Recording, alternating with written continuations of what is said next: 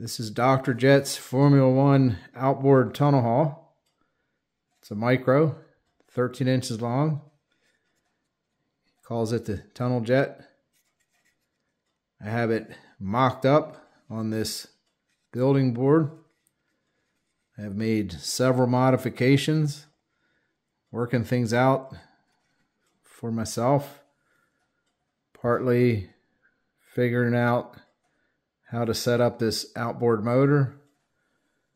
Also partly setting up for my servo mount and my motor mount.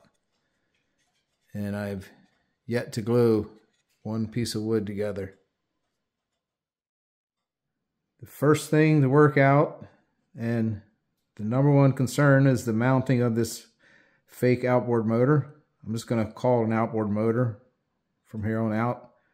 It's actually a strutter. It's a strut and a rudder. The motor is going to mount up here, flex cable, come down the bottom through the strutter. But for this conversation, I'm just going to call this the outboard motor. The question is, for performance-wise, how high do you mount this outboard motor. When I worked that out, did that with this building board, then that took care of simultaneously the transom and the mounting of the servo. I had to figure out how I was going to do this, mounting the servo and the transom in order to mount the outboard motor. I've made it adjustable in height. I have a quarter inch height adjustment. So that's done with slots in the transom. I have this nut plate in the front here. Four screws mounting directly to the transom. So the question is, where do you mount the outboard motor? And I believe the answer has to lie in what surface are you going to set everything to? If you look at the this um, stringer here, which is the bottom of the um, sponsons, there is not a flat section here. From the back, it starts tapering up. So the flat surface, therefore, to me becomes this center plate here, the bottom of the tunnel. That's going to be the surface that I'm going to work off of for the height of the outboard motor. These F1 tunnel hulls tend to ride with a nose up attitude at speed, and that attitude is not an angle that we can predict and set the prop shaft centerline to. If we look at the centerline of the prop shaft and we change this ride attitude, that raises or lowers the centerline of the prop shaft with that setback to the outboard motor. So we can't predict that ride angle, but using the bottom of the tunnel as a surface to set up on our board, we can make a height setting and then go out and test run it, come back and make changes to a known setting, incremental changes to known setting, and go back out and run it and see how that affects the handling of the hull. So I've marked on my setup board two marks here and here and that was the measurement from the top of the board or the bottom of the tunnel down to the bottom of the stringers in the very back. Then I've made a line beneath that, 16th of an inch, to allow for the balsa sheeting that's going to be on the bottom of the sponsons. So this line represents the bottom of my sponsons in the back. Then I have another line a quarter inch up. And those are the range of settings that I'm interested in as far as setting the height of the outboard motor. With that established, then I was able to locate where to put my slots in the transom to raise or lower the outboard motor. So here it is with the bottom of the um, hub level with the bottom of the sponsons after the sheeting's on. And I can lower it to where my prop shaft, centerline my prop shaft is level with the bottom of my sponsons in the back to going up to a quarter inch high. Center line of the prop shaft, a quarter inch above the bottom of the sponsons with the sheeting on. And that's the reason for this extensive mock-up and why I have not glued one piece of wood. I had to figure this all out and I don't like guessing. But this let me work out the location of the slots to raise and lower the motor, the location of the slots for the cables, the pull-pull cables. Got my servo mount worked out. And even with the servo set upright, the angle going to the um, mounts on these arms on the motor, moving it up and down that much does not change the tension on the pull-pull cables. That's all the way up. It's all the way down. So no issues there. I've also drilled new holes in the arms on this motor.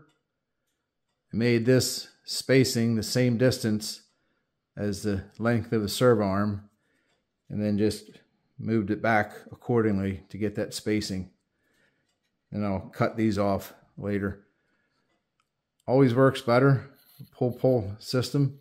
If you can have that the same, you won't get slack in your cables at the ends of the travel.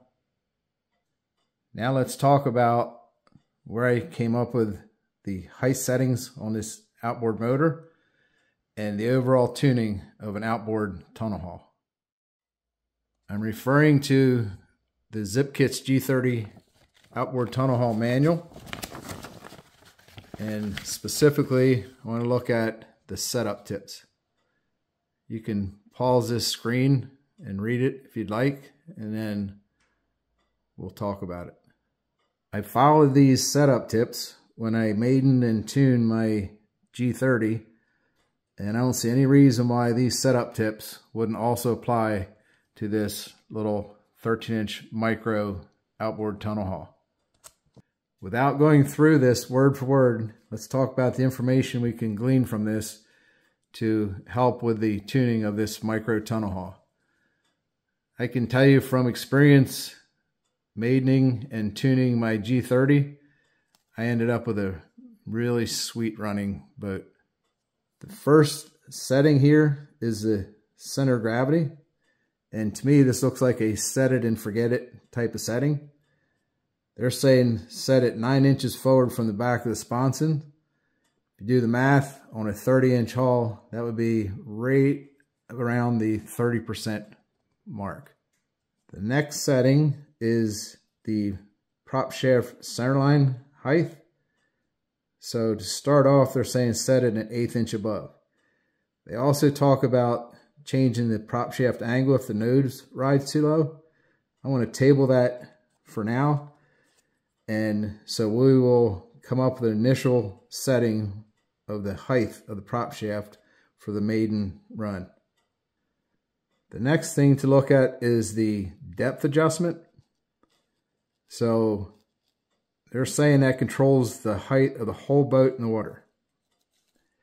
And another way to think about it is imagine if this was fixed in a vise and you change that depth adjustment. So if you lower the height of the prop shaft center line, you're going to raise the entire boat out of the water. It'll run looser.